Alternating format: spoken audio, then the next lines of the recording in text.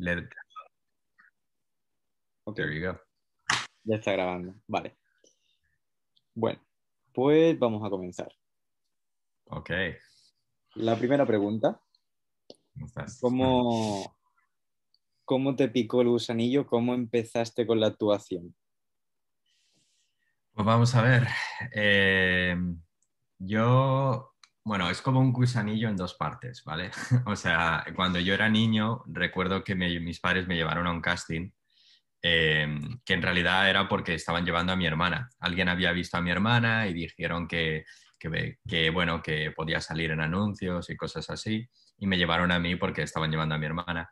Y hice una, hice una prueba y, y bueno, me entró la risa en el momento y tal, pero me picó la gusanilla y, creo que estaban interesados en mí. Lo que pasa es que en esa época tenía seis años y le dijeron a mis padres que tenía que perder mucha escuela y tal. Y bueno, el caso es que no, no me seleccionaron. Y luego años más tarde, otra vez mi hermana, cuando estábamos en, en, en la ESO, eh, ahí en Madrid, me dijo, oye, eh, deberías cogerte la, optativa de teatro porque es muy fácil, eh, es fácil sacar buenas notas, eh, te lo pasas bien. Y ella lo hizo y yo lo hice después. Ah, pues sí, me gustó mucho. Y ahí ya me empezó a picar el gusanillo con la, optativa de teatro en cuarto de la ESO. Y después, claro, en Estados Unidos, el año que pasé ahí, el año siguiente, eh, hice más improvisación, más teatro, entonces fue un, fue un gusanillo que fue creciendo, digamos, cuando le daba más de comer. Y de ese gusanillo, de ese pasar del tiempo que se fue gestando, ¿cómo, cómo fueron los primeros trabajos profesionales? ¿Cómo fue el, trabajo ya de una forma más, más profunda, más de lleno en el campo de la interpretación? Bueno, el primer trabajo, digamos que por profesional, si lo consideramos como pagado, ¿no? Profesional es un poco la, la- forma de medir. No me lo esperaba. Yo estaba en esa época en la universidad en, en Madrid, en la Complutense, y al mismo tiempo estaba estudiando teatro. Entonces, yo no tenía tiempo para nada. Yo, yo iba a unos estudios, a otros, y fue un amigo de la universidad que él tenía un agente, él era modelo. Y me dijo, mi agente lleva modelos, lleva actores, si quieres te puedo, te puedo recomendar. Y yo, ah, vale, sí, me reuní con ella y además yo iba con unas pintas que no voy a la reunión con la gente, o sea, no iba, no iba tratando de impresionar ni nada, ¿sabes? Em, y, y no sé, la gente me dio una oportunidad y me empezó a mandar a castings y creo que fue enseguida, como el tercer casting o el cuarto, que, que ya lo que me cogieron. Y fue un anuncio de, de la ONCE, el, el típico sorteo extra de verano de, de todos los veranos de la ONCE, pues el del año, wow, 2011, ese fui yo. Que, sí, iba vestido de pollo ahí, era muy ridículo. Bueno, estaba bien. ¿Qué es lo mejor y qué es lo peor de ser un actor profesional? Lo mejor y lo peor. Bueno, em, lo- la respuesta corta sería que lo mejor es cuando trabajas y lo peor cuando no trabajas, digamos, ¿sabes? Em, creo que lo peor, al menos para mí, lo que es aquí en Los Ángeles, ha sido la cantidad de cosas que tienes que hacer en el día a día que no tienen nada que ver con estar en un escenario o delante de una cámara interpretando, ¿sabes? Todo lo que hay que hacer para buscar a gente, para buscar manager, eh, para ganar dinero y vivir aquí, que es caro, eh, de todo, o sea, eh, marketing para actores, no sé qué, hay mucho, ¿no? Y lo mejor es, bueno, cuando estás en un set porque te tratan como un rey, ¿sabes? Llegas ahí y, bueno, o sea, te sientes realmente como, como un profesional y como que, wow, mucha gente no, no hace lo que yo hago, no puede hacer lo que yo hago, ¿no? Y, de vez en cuando viene bien recordarse uno eso a sí mismo, no por una cosa de ego, sino porque hay muchos otros momentos donde uno no trabaja, donde uno se siente que no vale, que sabes que no es lo suficientemente bueno, el, este como el síndrome del impostor que le llaman, ¿no? Entonces, cuando uno por fin está trabajando y le están pagando por estar ahí interpretando, es como una validación que, que es muy necesaria ¿no? para los actores. Mm, Sí, muy, muy de acuerdo, muy de acuerdo. De hecho, ahora me, me identifico mucho con tus palabras porque ahora yo me siento en una etapa así, de que he terminado la carrera, entonces ya como que el entrenamiento diario que tenía antes no lo tengo ahora actualmente y como que sí que tengo algunos proyectos así ya de manera más profesional y siempre me, me surgen muchas preguntas, muchas dudas, muchas incógnitas que al ya estar fuera de un ámbito educativo académico como que es un abismo grande y me, me identifico mucho con lo que con Sí, algunas cosas. yo creo que, claro, deberían, y deberían enseñar casi como carrera doble, ¿no? Como todo el arte de la interpretación y luego todo el arte de lo que es sobrevivir en el mundillo y buscarse oportunidades, que es que es casi más marketing y relaciones públicas que otra cosa. sí, sí. El networking, el hacer contactos, el venderse como... Networking, Sí, saber venderse, saber, eh, no sé, afrontar cómo son las reuniones con agentes, eh, formatear tu currículum correctamente, no sé, mu- muchas cosas, mil cosas que se me marca personal, ah, sí, mil, mil Sí. cosas. Vale, eh, ¿qué es lo mejor y qué es lo peor de vivir en Los Ángeles? Pues eh, lo peor, siempre empiezo por lo peor para ir hacia arriba. lo peor es, eh, bueno, yo creo algo que se espera la gente, el tráfico es horrible. O sea, yo tengo suerte porque no, no tengo estos trabajos, lo que llaman aquí 9 to 5, ¿no? Que tienes que ir a la misma hora por las mañanas y volver, entonces te pilla ahí todo el, el tráfico. En ese sentido, me lo evito bastante, pero el tráfico es horrible. eh, es una ciudad cara de vivir y para lo cara que es, a veces no es, no es el estándar de vida no está tan bien, porque, bueno, las calles están muy sucias, eh, muchos sin techos por todas partes, que drogas y tal, hay como muy eso. Eh, pero bueno, el estándar de vida también lo aporta mucho el clima, que es, es fabuloso, ¿no? Eh, y, y lo que creo que lo mejor es que constantemente estás conociendo gente de, que no son de aquí, de distintas culturas, ¿sabes? De distintos países. O sea, yo tengo un grupo de amigos aquí que eh, es, somos un grupo de improvisación en, en, español y en ese grupo somos dos españoles, un mexicano, un puertorriqueño, una argentina y dos colombianas, ¿vale? Y no sé, o sea, el otro día conocí a una chica que es de Burma. Yo nunca había conocido a nadie de ahí. Eh, Burma lo tiene otro nombre, Mariampar o algo así, ¿no? Myanmar. Myanmar, eso. Myanmar, Burma, ella lo llama Burma. Y he conocido a gente de Tailandia, de las Filipinas, eh, gente que, que, ha vivido unos años en Londres, otros años en, en, Nueva York, aquí. Entonces, ese, no sé, eso mola mucho. Siempre, siempre me gusta oír las historias de cómo eh, siento como que he viajado mucho más de lo que he viajado simplemente por la gente que he conocido aquí, ¿no?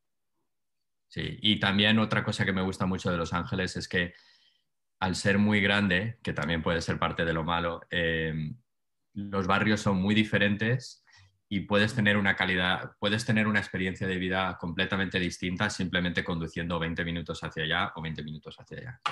Porque estás al lado de la playa, Santa Mónica y tal, es un rollo.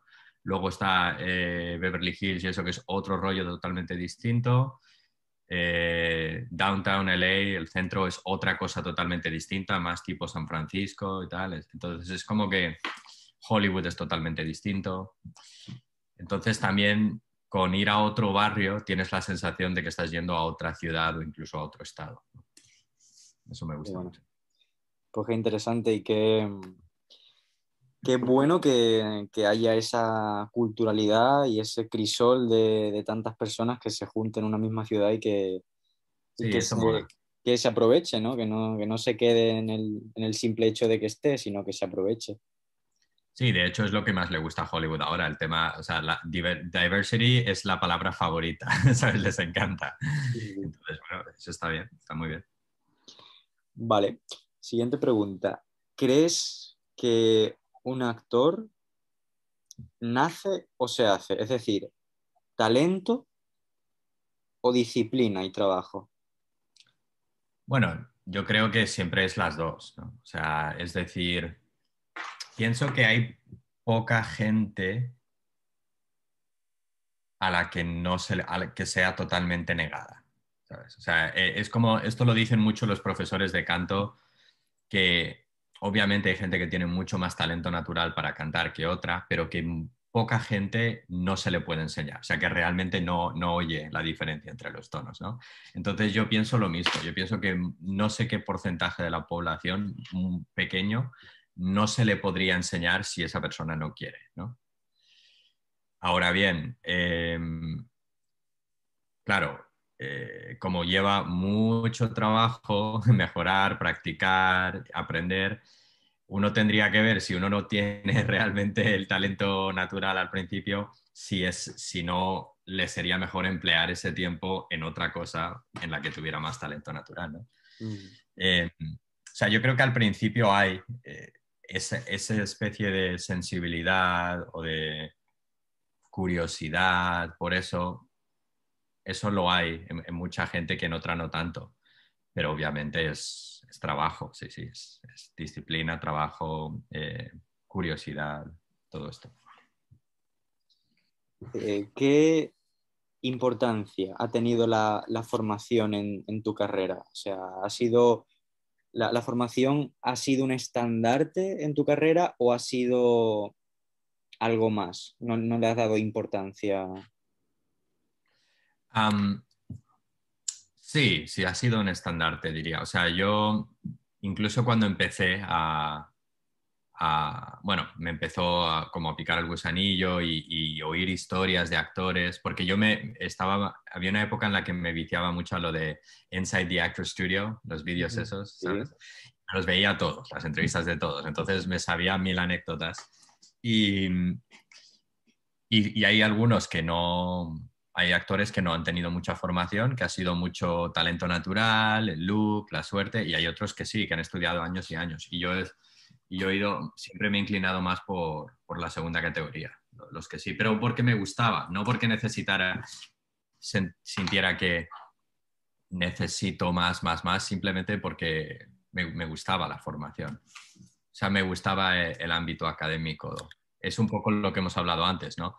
Es como mucho más fácil de afrontar cuando estás en una escuela y dices, vale, tengo estas asignaturas, tengo estos exámenes, en este semestre tengo que hacer esto y hay alguien dándote, como guiándote, que cuando estás ahí fuera en el mundo y es como, bueno, puedes hacer lo que te dé la gana, ya veremos si funciona o no, ¿no? Es un poco mucho más incógnitas ahora de repente, ¿no?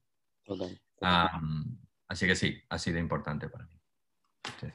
Y siguiendo con el tema de la formación, ¿consideras que es importante formarte en diferentes ámbitos? Es decir, tocar un poco de todo y si es posible en diferentes países con diferentes maestros o quedarte en una zona en concreto y especializarte? Eh, ¿Te refieres solo en cuanto a aprender la técnica o en cuanto a trabajar o cómo? Los dos, en cuanto a aprender y también trabajar. Bueno, yo creo que la técnica obviamente uno tiene que ser ecléctico, o sea, uno tiene que ser abierto de mente. No, no creo que hoy en día ya poca gente hay muy dogmática de no, no, yo soy Meissner y solo Meissner, o yo soy eh, Strasberg, solo Lee Strasberg, ¿sabes? O Grotowski, ¿sabes? Yo creo que muchas escuelas hoy en día tocan un poquito de todo y la gente ya se va inclinando más hacia una cosa u otra. Creo que es importante eso, o sea, probar de todo, pero sin caer en, o sea, no demasiado, es decir, si tienes que darle tiempo a cada cosa de dominarla, no de, ah, como he hecho ya tres clases de Meissner, otra cosa en tres clases, o sea, la gente, tienes algo, si algo piensas que vale la pena, le tienes que dar una oportunidad bastante larga, ¿no? Dicho esto, pues claro, a veces el probar una técnica totalmente distinta te puedes abrir la mente de alguna manera que aunque no te vayas a esta nueva técnica, aunque vuelvas a la que estabas, ya vuelves como con otra perspectiva. ¿no? Entonces, eso sí pienso que es importante, al igual que pienso que es importante muchas veces oír el mismo mensaje, pero de otra persona. Hay muchas cosas que a todos nos han estado diciendo nuestros padres muchos años y no les hacemos caso porque son nuestros padres y luego nos lo dice un profesor o, alguien así famoso a quien admiramos, que es básicamente lo mismo pero con otras palabras y de repente es como que haces un poco el clic y dices, anda, mira.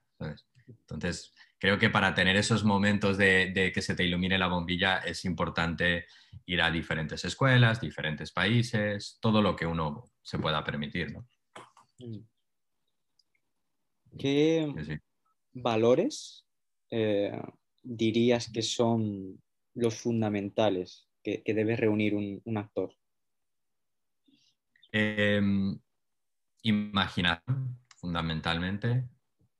Em, bueno, te respondo un poco eh, valores, o sea, para lo que es ser actor, lo mismo, lo que es el craft, técnica, pero también lo que es vivir como actor, ¿no? Dices.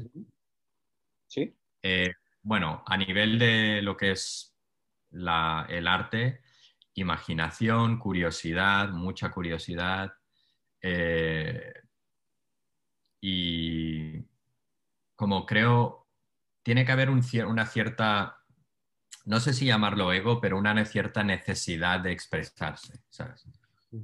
Pienso, como una, cierta energía que te lleve a, querer, a que te importe realmente eh, comunicar ese mensaje eh, y expresarte, que no sea un poco como, bueno, ¿sabes? Que, realmente te afecte, te importe, sensibilidad, digamos, ¿no? Sensibilidad, imaginación y la necesidad de, de expresar. Y, y bueno, y sobre todo la, capacidad de jugar, o sea, ser eh, explorador, y si pruebo esto, y si pruebo lo otro, reírse en los ensayos, o sea, creo que eso es muy importante, ¿no? Y, a nivel de lo que es perseguir esta carrera loca de la interpretación, pues hay que ser muy, muy, muy, muy, muy, muy perseverante, ¿sabes? Muy... Eh, muy enfocado de no, perder de vista el objetivo. Eh, diría que o hay que ser humilde o si no, la carrera ya se encargará de, ponerte en un lugar humilde, a menos que tengas muchísima suerte y pegues el pelotazo el año uno, pero eso pasa en un 0,0001% de, de las veces. Y mm, hay que ser estratégico. Eh, aprender a no tomarse las cosas de manera personal en, lo que es la parte de negocio, aunque sí lo hagas en la parte de, tu arte. ¿no?